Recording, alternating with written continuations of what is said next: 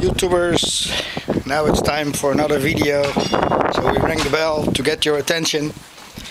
Well, what I've been doing, preparing uh, now, is um, this. These are for making a stabilization between these two posts. I'm going to make a diagonal from here to there and from there to there.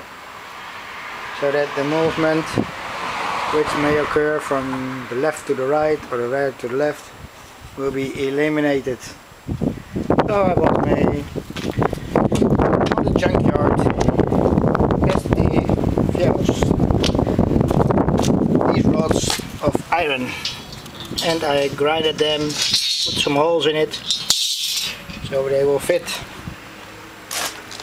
on these connections short video. Now it's time to paint. Nobody's helping me but myself.